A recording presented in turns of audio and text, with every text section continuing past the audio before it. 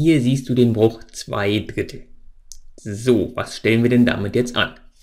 Ich würde dich bitten, überleg doch mal, ob dir andere Brüche einfallen, die gleichwertig zu 2 Drittel sind. Das heißt, die sehen zwar anders aus, die Brüche, stellen aber im Endeffekt genau die gleiche Zahl dar. Überleg mal, ob dir da irgendwelche einfallen. Okay, lass es uns vielleicht einfach mal gemeinsam machen.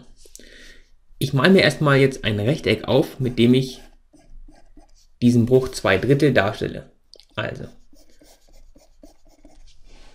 ich mache jetzt hier ein Rechteck, das wird sozusagen mein Ganzes. Und das teile ich dann in drei gleich große Teile auf. Da ist das Rechteck und drei gleich große Teile. Hm. Ich mache das jetzt natürlich nur nach dem Auge. Also musst du mir einfach, wir glauben jetzt einfach mal, dass ich die gleich groß zeichne. Ja, guck mal, das sieht doch ganz gut aus eigentlich. Okay, und von diesen drei Teilen male ich jetzt zwei aus. Also ich male den hier aus, ausgemalt und ich male das zweite auch noch aus. Zack. Und jetzt nutze ich die Magie des Computers und kopiere mir einfach hier diesen Bruch oder die Darstellung des Bruchs besser gesagt. Und zwar, hm, ich zeige dir zwei Möglichkeiten, die mir einfallen würden, um einen gleichwertigen Bruch herzustellen. Also, brauche ich den auch zweimal hier. So, eine Sache, die ich jetzt machen könnte, wäre die folgende. Ich kann ja einfach bei dem zweiten Rechteck hier das Ganze nochmal horizontal in Hälften teilen. Dadurch werden aus, wird aus jedem Drittel hier jeweils zwei Teile. Also wenn ich jetzt hier den so aufteile, dann habe ich jetzt ja 1, 2, 3, 4, 5, 6 Teile. Sechs gleich große Teile. Und davon sind, ah, ich wechsle mal die Farbe, davon sind offensichtlich 1, 2, 3, 4 ausgemalt. 4. Aber wie du gesehen hast, ich habe ja an dem Rechteck und an dem, wie viel ausgemalt ist, nichts geändert. Ich habe das Ganze ja nur noch mal zusätzlich geteilt sozusagen, aufgeteilt in mehr Teile. Das heißt, das hier muss immer noch genauso viel sein wie vorher. Das heißt, 4 Sechstel muss immer noch genauso viel sein wie 2 Drittel. Und genau das gleiche könnte ich auch nochmal machen, wenn ich hier zum Beispiel das Rechteck in nochmal drei gleich große Teile teile. Also ich mache es mal nochmal horizontal wieder. Dann kann man das vielleicht besser sehen. Wenn hier die erste ist und hier wahrscheinlich so die zweite.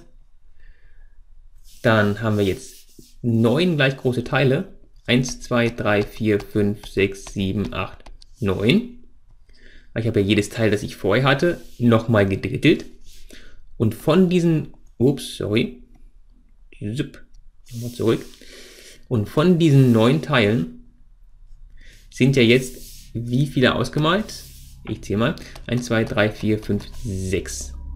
6 sind ausgemalt. Und wieder das gleiche Argument. Ich habe ja an der ausgemalten Fläche hier nichts geändert.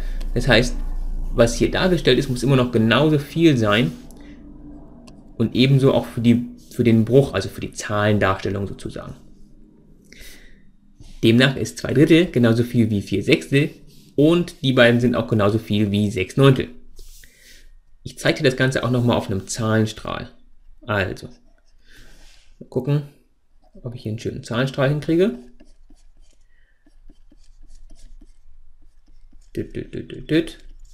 Ja, den, den nehme ich doch so.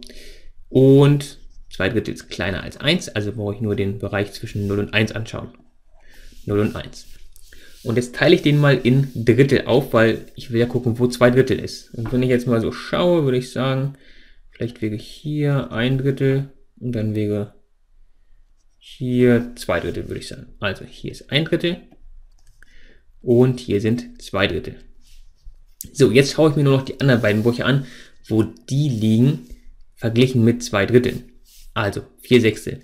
Dazu muss ich den Bereich ja jetzt in sechs gleich große Teile teilen.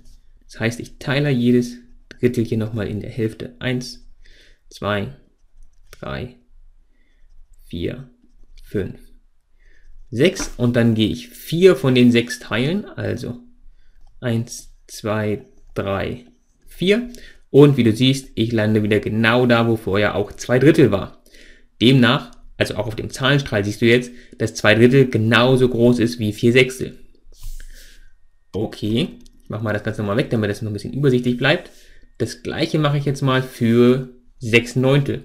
Der Bruch ist ja auch noch da. Was ich jetzt mache, ist, ich teile einfach jedes Drittel hier nochmal in drei Teile auf.